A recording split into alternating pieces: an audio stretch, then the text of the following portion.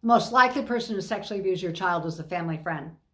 You may have heard the story of 11 year old Audrey Cunningham who disappeared on the way to the school bus and whose body was found six days later in the Trinity River.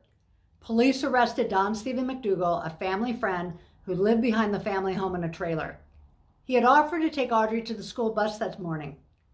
Now, you may be saying to yourself, how come the family wasn't suspicious of a 42 year old male who wanted to involve himself in their daughter's life?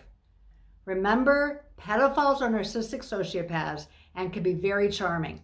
I have known three, and they were the nicest men in the world.